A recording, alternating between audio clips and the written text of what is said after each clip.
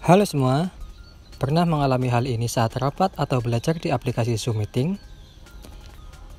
Jangan khawatir, karena Mimin punya beberapa tips agar koneksi Zoom tetap stabil. Tapi sebelumnya, jangan lupa untuk subscribe channel ini ya. Koneksi internet Pastikan koneksi internet teman-teman punya bandwidth yang cukup untuk melakukan meeting Zoom. Cara mengecek besaran bandwidth internet sangat gampang. Tinggal googling aja kata speed test dan coba lakukan uji kecepatan. Kalau hasil speed test di atas 5 Mbps, seharusnya cukup untuk meeting Zoom. Kalau di bawah 5 Mbps, coba teman-teman pindah lokasi atau ganti provider yang sinyalnya bagus. Pengaturan HD video Kualitas video pada aplikasi Zoom dapat diatur yaitu kualitas HD atau tidak. Caranya, masuk ke aplikasi Zoom, buka pengaturan video.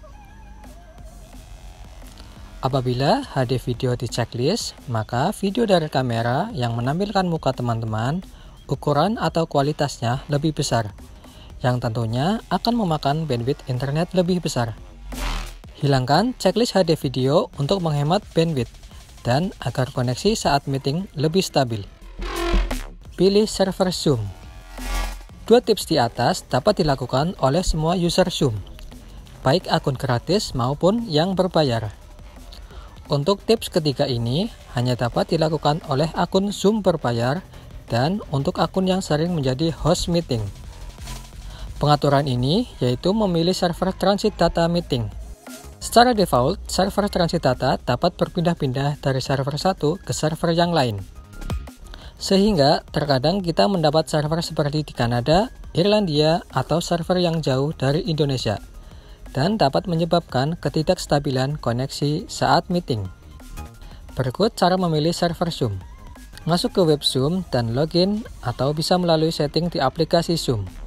Pilih profile pada menu personal dan geser ke bawah Kenapa tidak ada? Karena untuk akun Zoom gratis, pengaturan ini memang tidak disediakan oleh Zoom. Oke, Mimin harus ganti user Zoom. Di sini, Mimin sudah pakai akun Zoom berbayar. Masuk ke profile pada menu personal, kemudian kita geser sampai ke bawah. Di bagian transit data ini, aktifkan meeting webinar data center.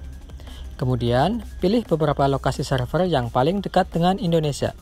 Di sini, Mimin pilih Cina, Singapura, dan Hong Kong. Kalau yang server US memang tidak bisa diubah. Setelah selesai, kemudian reset aplikasi Zoom dan coba buat meeting. Oke teman-teman, begitulah beberapa tips agar koneksi Zoom saat meeting tetap stabil.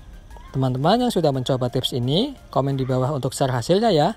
Sampai jumpa di video selanjutnya. Dan jangan lupa like dan share video ini apabila kalian anggap bermanfaat. Kalau kami bisa, kalian pun bisa. Terima kasih.